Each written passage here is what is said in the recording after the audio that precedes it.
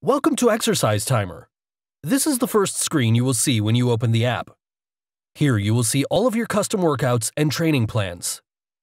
Before creating your custom training plans, you might want to try one of our training plans designed by fitness experts. However, in this tutorial, we'll be focusing on creating your custom workout in Exercise Timer. Let's say you have this simple workout which you want to create. To get started, tap the Add button and select New Workout. Here, you can enter your workout name and select a workout icon. You can set a workout description, which you can refer to during a workout. Okay, so let's add our exercises to this workout. Tap the Add button and select Add Exercise. Let's enter sit-ups, set the duration to 20 seconds, and done.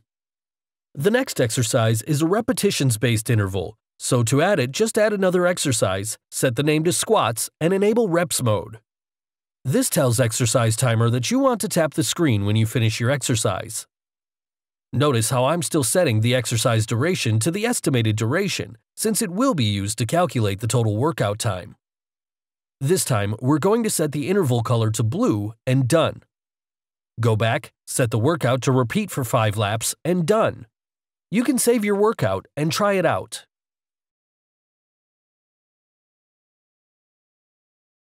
As set, we have 20 seconds of sit-ups, and if we press next, we have 20 reps of squats. Exercise Timer will automatically time the duration you take to perform the 20 reps. You can see the number of reps from list mode.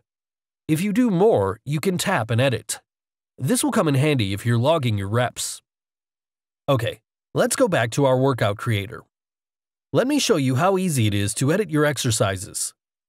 You can sort your exercises, you can quickly add a rest interval. You can also select multiple exercises and duplicate them. Plus, you can also set the interval duration of multiple exercises at once. Exercise Timer supports complex workouts. Let's say your workout looks like this. No problem. You can use groups to repeat only parts of the workout. This is great for a warm-up or a cool-down. The great thing about Group is that you can put it inside another group, like folders on your computer. This makes it possible to create the most complex workouts. If that's not all, Exercise Timer can calculate your calorie burn. This depends on your weight and the specific exercise metabolic equivalent, or MET. An exercise MET depends on the specific exercise. To set it, open your exercise and input the exercise MET. You can learn more about this from this link. Also, if the exercise is a rest interval, make sure to have the rest interval switched on. This will ensure that your exercise is not treated as a normal exercise, but as a rest interval. That's all in this tutorial. In the next tutorial, we'll be going through how to create your custom training plan.